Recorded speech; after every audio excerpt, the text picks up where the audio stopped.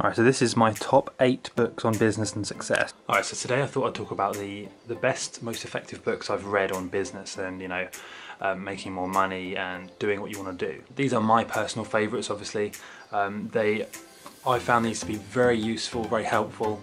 And to be honest, I have read quite a lot of books and, you know, for the most part I just go by what is recommended to me. But these are special in the, in the sense that I've actually researched these and they have changed quite a lot of people's lives. Um, and they've always popped up on the, you know, the top uh, business books list and everything. So these are books I've actually read, I've actually implemented what they've taught and they are really good. So let's just get right into it. So firstly, now I actually have a pretty good reason for liking each specific book here. And so I'm just gonna start by going through them. So firstly, the four hour work week. Now this is entirely based on setting up systems and automation in order to let you live the life you want to lead. Basically, it's all about you know finding what's called a muse, and that is something that just makes you money regardless of what how much time you put into it. Um, so it's a lot about passive income, but it's also about escaping what you're currently doing. Uh, and sort of doing it from anywhere. So it's basically, if you want to be a digital nomad, this is a very important book.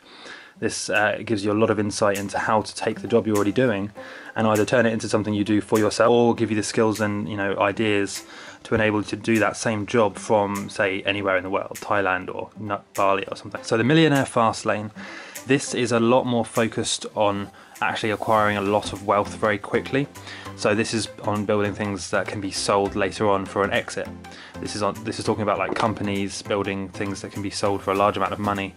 But it's also talking about how to leverage things like your time and you know how to leverage your time and your money. There's a very interesting story from the author actually about how he started uh, in business and, and, his first business idea involving limousines, and it's actually quite interesting. Really liked this book, really good. I read this in in uh, in about a week, I think it was. So, Rich Dad Poor Dad, this is a lot more focused on using your money that you already have.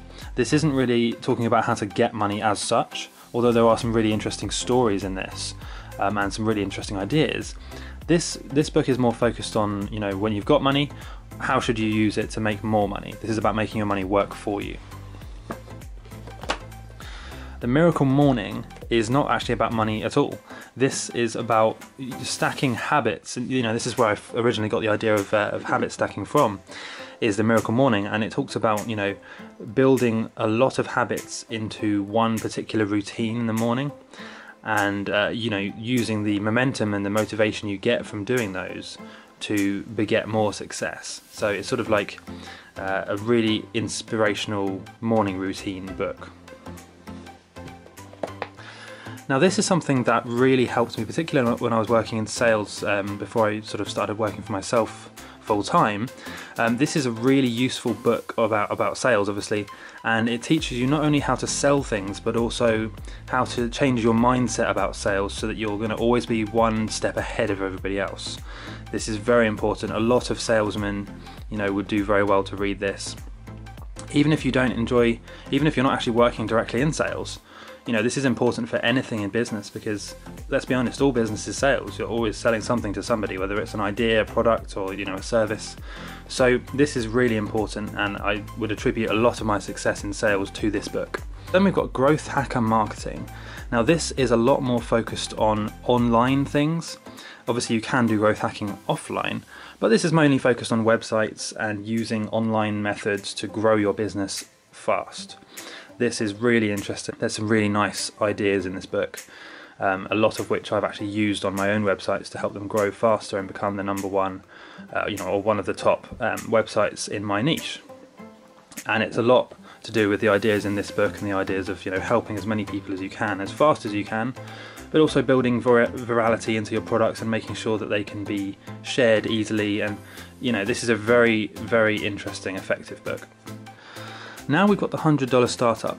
This is what I would probably suggest to read towards the beginning of your endeavor in business because this is all about validation. I really wish I had read this book before I even started. This is this talks a lot about how to actually test your idea before investing a lot of money. I mean, the title suggests it, doesn't it? The $100 startup. It's about validating your idea before investing a lot of time and money into it so that you know whether it's going to be worth going ahead with or whether it's not viable. This will save you a lot of time and a lot of money. I really wish I'd read this sooner.